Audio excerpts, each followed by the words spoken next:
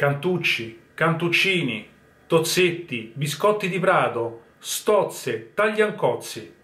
La ricetta è uguale per tutti e può cambiare solo un ingrediente, avere all'interno o le mandorle o le nocciole, anche se all'atto della sua nascita non aveva nessuna frutta secca. Parliamo del biscotto più conosciuto d'Italia.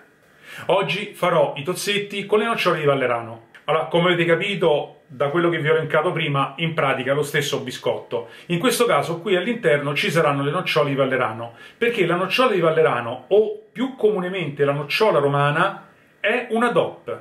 Oltre ad avere la nocciola Gentile Piemonte e la nocciola di Giffoni, che sono due IGP, io fino a poco tempo fa non sapevo che esisteva anche una DOP per la nocciola romana, anche perché viene allevata nella parte della Tuscia, ovvero dell'Alto Viterbese. Ma per la storia e tutto il resto io vi do appuntamento alla fine del video. Quindi noi adesso ci vediamo ingredienti e ricetta.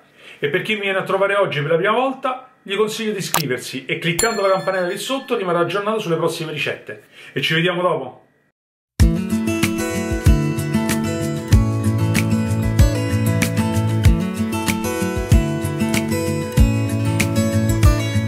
Cominciamo a tritare la metà delle nocciole all'interno di un tritadutto.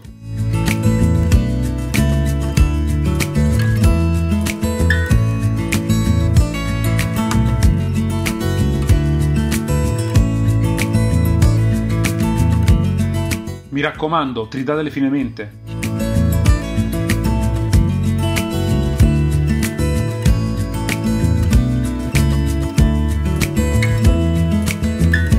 Ciotola mettete le tre uova e lo zucchero.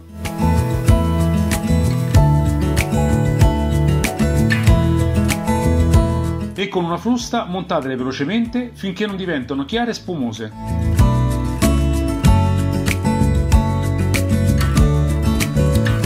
Poi aggiungete l'olio, il limone e la mezza bustina di lievito. Quando si è tutto amalgamato mettete poco per volta le nocciole tritate e la farina.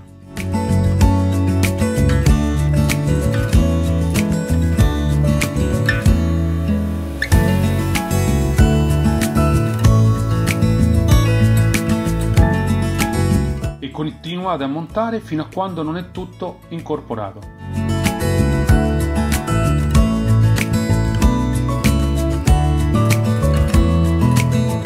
Infarinate il piano di lavoro e metteteci l'impasto preparato.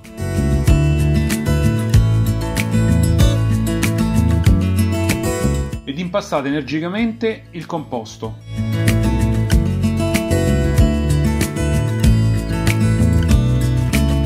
Poi, poco per volta, metteteci le nocciole intere e continuate ad impastare.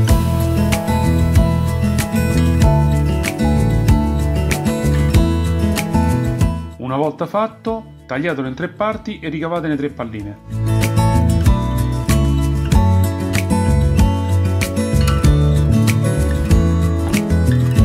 Poi stendetele formando dei piccoli finoncini, schiacciandoli nella parte superiore per farli diventare rettangolari.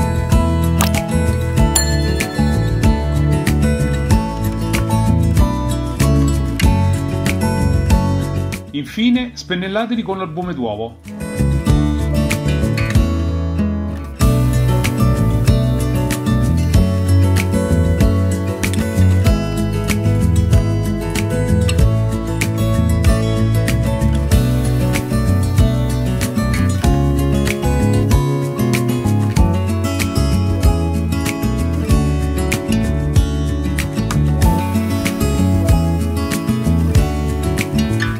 Volta sfornati, lasciateli intiepidire per almeno una mezz'ora, dopodiché tagliateli in diagonale.